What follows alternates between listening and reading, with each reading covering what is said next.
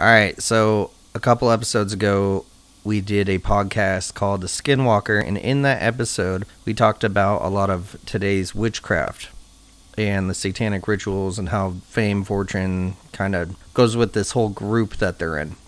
And in that episode, we talked about specifically celebrities who had close family members die tragically, mysteriously, all of the above, whichever way. But it always seems to align with soon after that death that they blow up.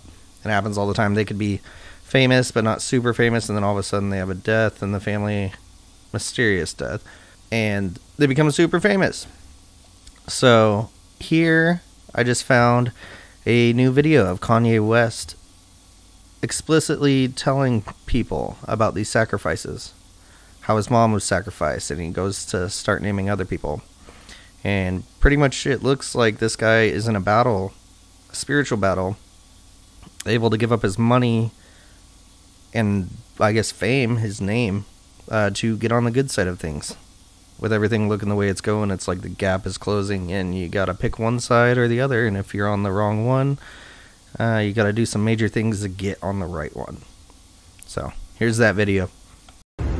They, they, they try to suppress you, but that's how they try to categorize They you. can't control me. You get what I'm saying? They can control Shaq. They can tr- control Charles Barkley. They can control LeBron James.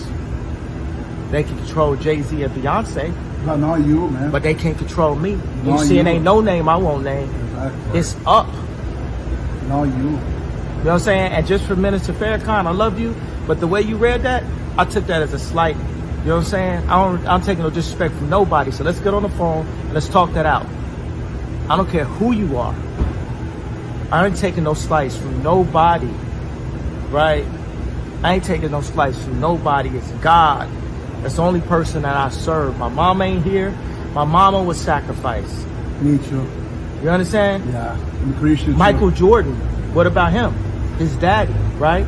Bill Cosby, his son, right? Dr. Dre, his son.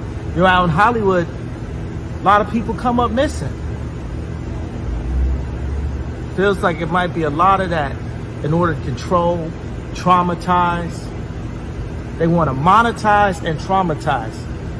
And God loved me. You understand? They, they hit me. Gap, Adidas, all that away.